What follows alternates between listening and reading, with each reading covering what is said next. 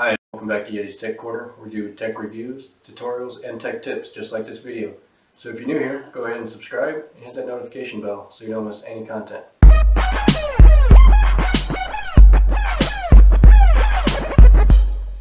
So today we're going to be talking about the new YouTube dashboard they rolled out for the YouTube app on your smartphone. It allows you to track your watch time hours and it's for content that you consume, not content that you create. So you're not going to be tracking your video views and stuff like that that you can already track on the analytics. So the purpose of this is to keep track of how much content that you're consuming per day, per hour, and per week. So you can set a time limit on there to take a break if you're watching too much content. It's more of what I would say a a helpful tool for parents or somebody trying to limit their use of the smartphone. And if you spend all your time on the YouTube app, it's a good handy way to go ahead and limit that use.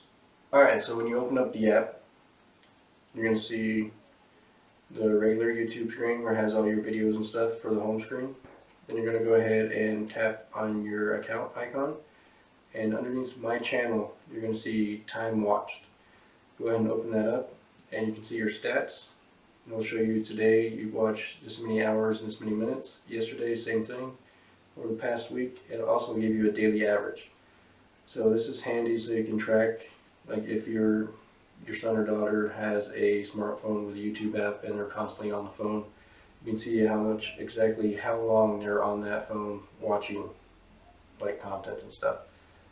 So if you scroll down, you can see tools to manage your YouTube time you can go ahead and hit a reminder to take a break and it goes up into increments of 5 so it starts out with 0 and then 5, 10, 15, 20 so on and so forth.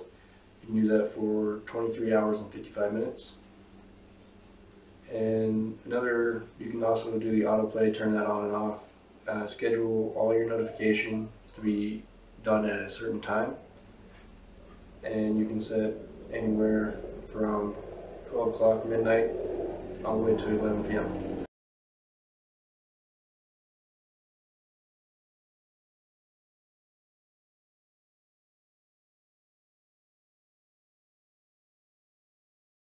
Alright guys, go ahead and uh, leave a comment down below and let me know what you think about this new dashboard.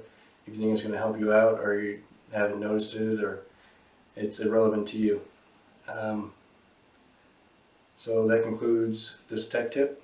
Uh, thank you for watching. If you're new, go ahead and consider subscribing and hit that notification bell. And we'll see you for next week's review.